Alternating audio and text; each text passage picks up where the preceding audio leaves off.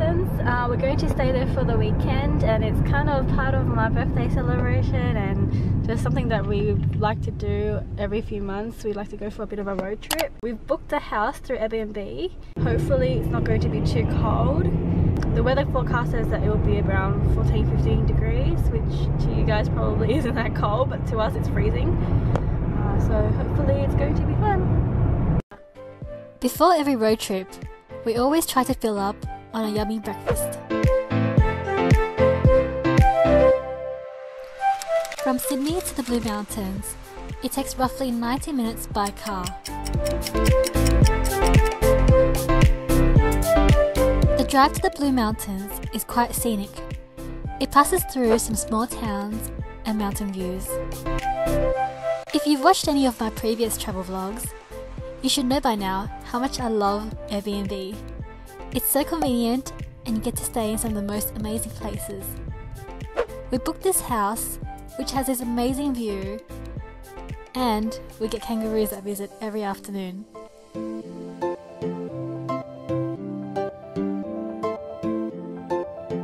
This house has so much space and can accommodate up to 12 people.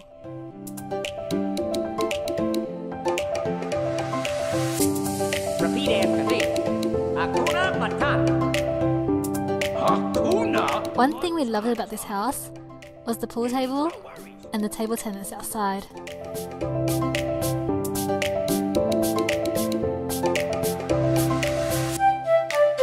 This sunroom was probably one of our most favourite rooms in the house because look at this view.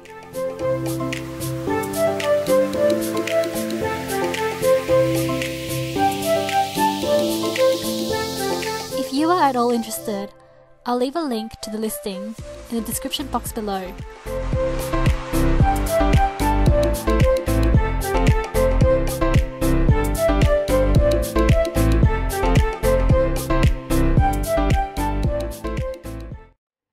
Ah, good idea. Chili pork, cheesy cheese, beef and onion, ham and onion, plus some pineapple. The house was so nice that we spent the first night just playing pool, eating pizza, and playing lots of board games.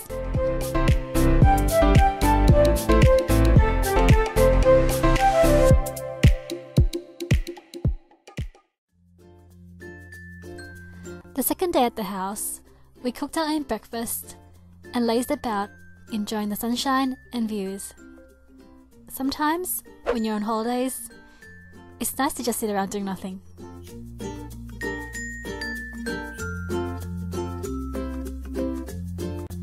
Coming from the city, I still can't get over how surreal this view is.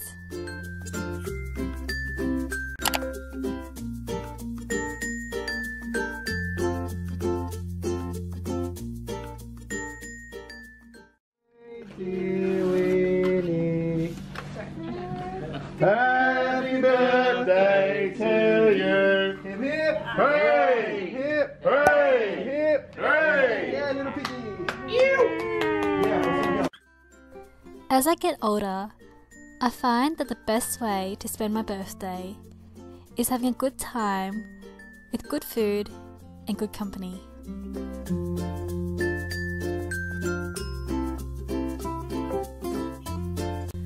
For the Game of Thrones fans out there, look how epic this board game is.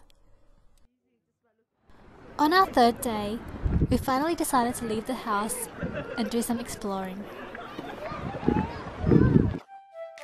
Welcome to one of the most famous lookouts in the Blue Mountains. From here, you can get a panoramic view of the Three Sisters and the famous Jamison Valley. The Blue Mountains got its name from its distinctive blue tinge, which you can see from a distance. This tinge is created by the scattering of light caused from the eucalyptus oils in the eucalyptus trees. One of the most famous ways to get to the bottom of the mountains is via the giant stairway. It takes roughly 1.5 to 3 hours to get to the bottom. I've done it once before, but this time we decided to only go to the honeymoon bridge. We are going to the gingerbread house. It is an old church that's been converted into a cafe or a lolly store or some, some kind. This place was recommended by one of our friends and I'm so glad she brought us here. Look at it. It looks straight out of a storybook. I was so excited by all the lollies and decorations. Lucky there was no evil witch hiding inside. It means no worries.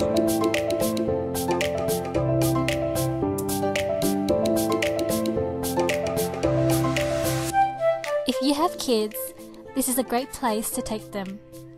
There's a little play area, as well as workshops and activities for the kids to take part in.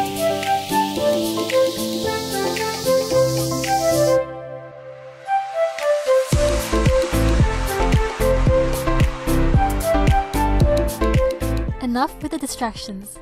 It's time for food.